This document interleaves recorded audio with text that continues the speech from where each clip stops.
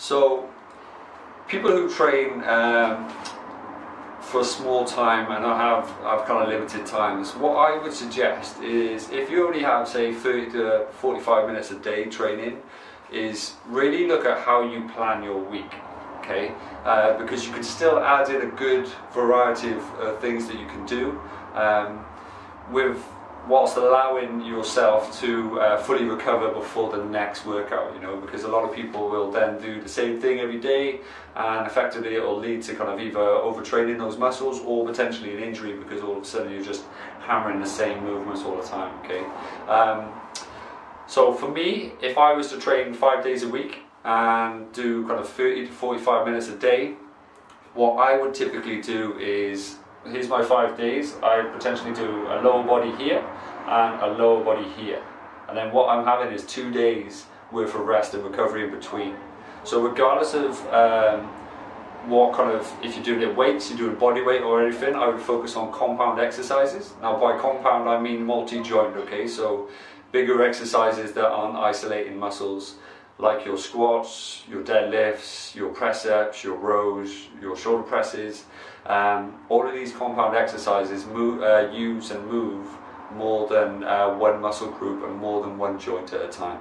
Okay, so you got your leg day there, you got your leg day there, you got two rest days there. Okay, what I would then do is put an upper body day here and an upper body day here. Okay, so again you have two days rest.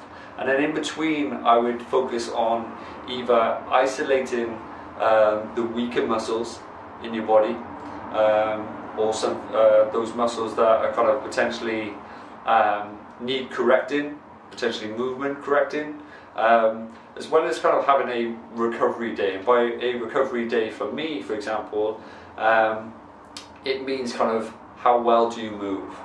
Um, a lower intensity, so we're talking uh, yoga based movements, um, increasing your flexibility, stretching, uh, increasing your mobility. What's your range of movement like? Um, by simply having one, of, one or two of these days a week uh, will not only help you recover more, um, and it's kind of really giving you that holistic approach of kind of well-rounded training because quite often we will sack these type sessions off to do more of the other sessions when in reality, how good are your squats? Do you have full range of movement? Can you go all the way down? Can you drive all the way back up? Are you hip dominated? Are you knee dominated? How are you moving? Are you able to do an overhead squat? Are you able to fully extend your arm whilst uh, holding a bar and supporting your weight? And it's these things that if if you don't have full range of movement, it's going to long term hinder your performance in your house, in your gym, uh, doing these exercises on these four other days. So that kind of Wednesday, if you will, that recovery day is, is also super important and it's, it's kind of one of those sessions that a lot of people discard. But by simply adding that in, it will kind of do wonders for your body and you'll find that you'll start improving and your your quality, your rep quality will really improve and really kind of transform you in the right direction in regards to overall performance.